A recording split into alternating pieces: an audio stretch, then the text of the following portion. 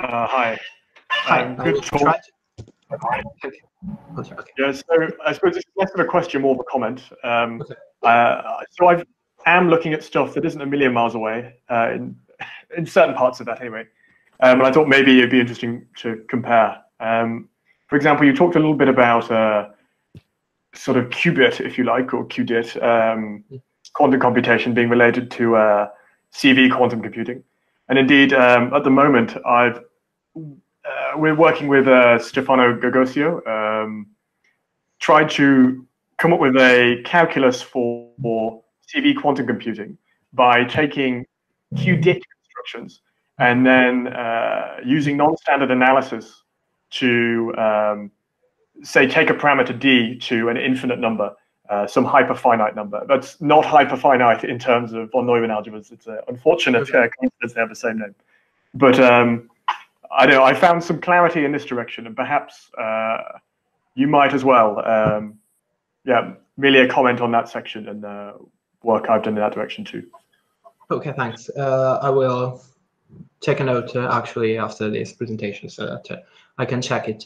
Um, also, one of the main concerns about uh, um, this approach, I mean, studying geometrical models in the case of infinite dimensions, is also that some of the orthodox, so to say, geometrical representations for quantum computational processes, such as the Bloch sphere, actually um, are not adequate anymore in some cases. Uh, because the, uh, when I started developing this uh, paper, uh, one of the first concern was in uh, the topological aspects of the problem. Firstly, in general quantum in quantum mechanics in general, and actually, when we try to represent, for example, what happens in a, a, projective Hilbert space, complex Hilbert space, which is basically what we use when we introduce rays in our state space, um, and we try to obtain a homomorphism uh, to a sphere, if the dimension of the Hilbert space is, for example, n, um, then the homomorphic sphere will not be actually a sphere anymore it is a much more complex, uh, it is a much more complicated geometrical uh, topological um, manifold. Uh, so, okay, thank you. Thank you for the su suggestion. I will, I will take a note of that. And I'll check that immediately after. so there are further questions. So, please, Vincenzo. Uh, moment. Yes. Can you hear me? Yes. Yeah. Yeah. Okay. Uh, thank you very much, uh, Enrico, for this presentation. My uh, I'm not a really question, but an observation. You mm-hmm. you spoke about very interesting things, but uh, at half of your presentation, I was not able to understand oh, anymore because, you put. Am not very intelligent, you know, you know well but you put together a lot of things and, uh, and, and, much of these things I understood are very, very interesting. Perhaps in, in 20 minutes or half an hour, you, it is better that you concentrate yourself on a couple of things, so it is uh, uh, easier to for us to to say something. But uh, I have anyway uh, a question about the first part. I am I am really interested about the problem you, you posed at the beginning. That is uh, the problem of uh, the unbounded uh, observables in uh, mm-hmm. in Hilbert space. Uh, we know that uh, these problems, that is observables like position and momentum, in a certain sense, have, have measure zero for each point of space and each point of the space of moments. Uh, so there is a, a physical problem, mm, or, or, not not a physical problem. There is a, quest a question principle because uh, we know that the particle is somewhere, and uh, to these problems there are different solutions.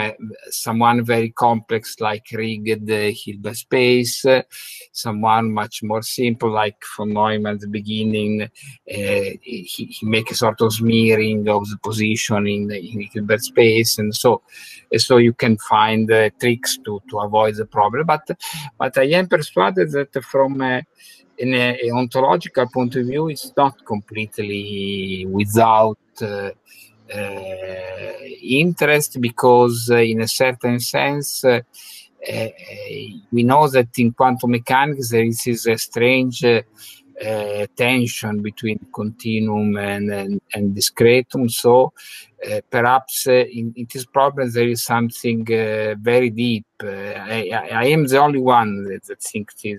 I, I believe because when I presented this kind of ideas in a in a, in a, in a a congress in Rome uh, a couple of years ago, many physicists and philosophers said, told me that it's not so interesting. But I have the feeling that it is not completely devoid of, you know, of interest. Uh, so I, uh, would like to know your, your opinion on this, and in particular on this paper of von Neumann about uh, this continuity, geo continu geometrical continuity. No, not the, not the, the one about of 27 about analogy between mm -hmm. geometry and quantum mechanics that I, I knew very well because I book uh, translated by Rossella.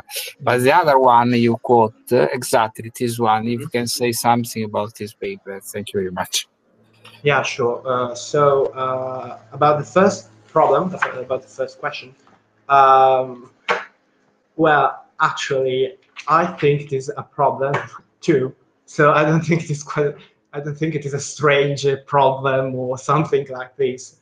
Um, now, about uh, bounded and unbounded operators, first of all. When they are introduced, I mean, I know, um, well, basically, textbook presentations of quantum mechanics uh, all adopt bounded operators. And uh, as far as I know, they uh, came out in that paper by von Neumann, uh, Hilbert, and Nordheim. Now, actually, they do not define it. Um, I can see that uh, boundless conditions um, allow to simplify um, the formalism, so to say, because when we uh, decompose the operator, basically, uh, then we can develop, uh, um, well, then we have a series of functions and uh, the convergence of the series uh, allows us basically to have some, an approximation of the function, so to say, through series, through series expansion. So convergence from a mathematical point of view uh, might actually be a, might actually be introduced due to pragmatical reasons. I mean, because we have to use these functions in some way.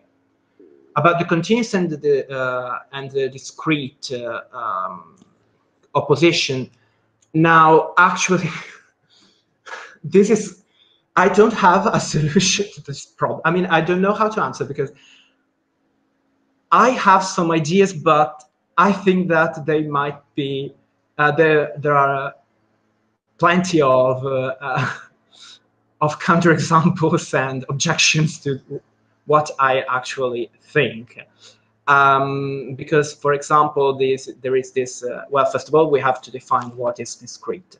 So if we had discrete in the sense of the outcome of a measurement process, uh, for example, uh, as opposed to the evolution of the state in the case of uh, Schrödinger equation, uh, as it is expressed by Schrödinger equation. Then we are referring to the whole debate about Heisenberg cut and Copenhagen interpretation and so on and so on and so on. Uh, and also, uh, it actually do not, well, quantum computation, in my opinion, has a more, a less problematic view on this point, probably, because the evolution or yeah, the evolution of the qubit state in a comput in the uh, computational network is not uh, actually described, uh, as far as I know, by Schrödinger equation. So we have a series of a sequence of steps in the computational process. So uh, at each step, we have uh, an interaction with a device, for example, and so we have an operation which is performed on the, on the qubit state. Um, the second question, sorry, I forgot it. if you can, uh, if you can restate it, just very briefly. sorry. I, I can't hear. I can't hear you.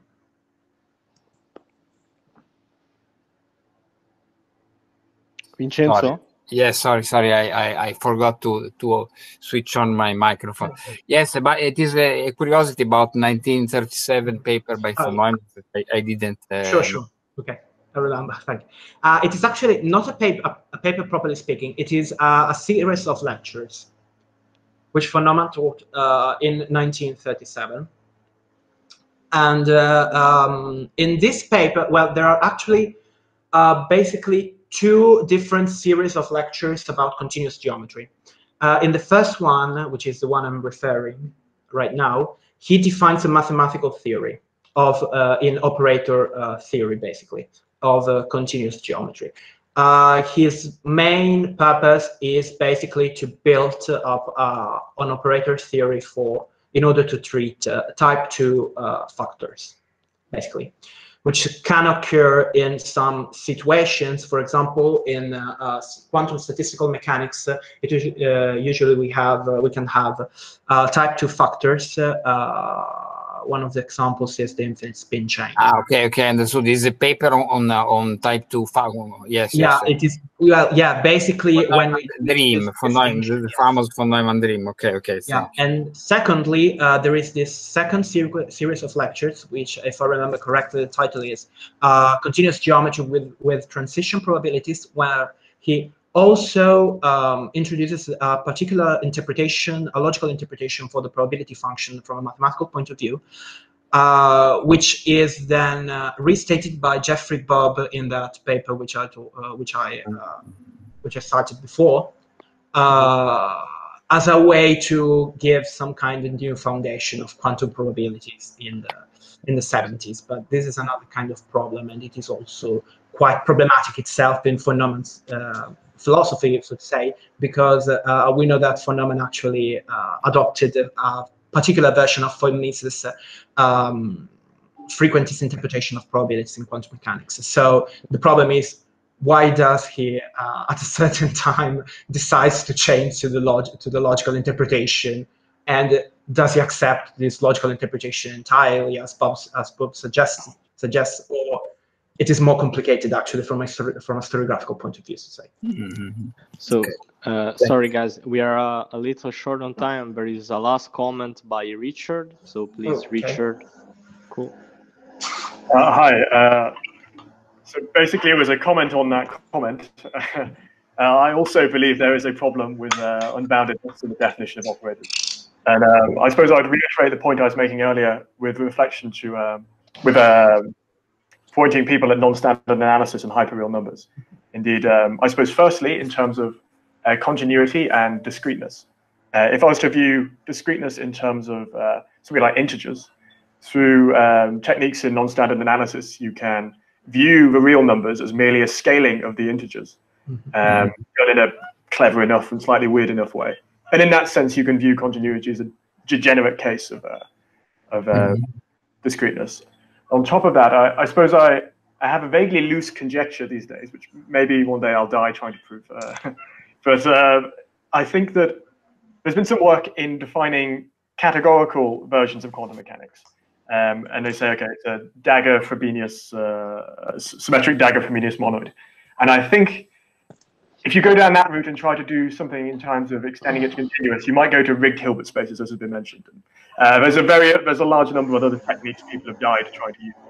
Um, but I think a cleverer thing to do, or maybe more cunning, is to instead of changing the algebra you're working with, change the number system associated with the algebra and move to hyperreal numbers. Uh, and in that way, perhaps, um, well, I conjecture that uh, a dagger symmetric Frobenius algebra over star Hilbert, that is uh, the hyperreal Hilbert space, is perhaps the correct place to do uh, unbounded quantum mechanics. Uh, that's just uh, it's pretty vague stuff. I mean, Oh uh, yes, I, I am happy that there is some someone someone that uh, think about this problem. Thank you very much. lurking in the shadows, but I don't know how successful I am. No, thank you. It was very, very interesting. Actually, I, I hadn't studied uh, categorical quantum mechanics. Uh, which is one of my dreams, actually, to study them, uh, to study this uh, field. Uh, but I didn't have time. actually, exams and all the rest. But this might be actually interesting. I wonder what would be the philosophical problems uh, from uh, um, from the philosoph- philosophy of mathematics uh, uh, point of view, so to say. Uh, I expect things about real numbers uh, being not real, and, and, is it okay to add infinite numbers now? It's also questionable. And secretly, I only believe yeah. in rational numbers. But, uh, oh.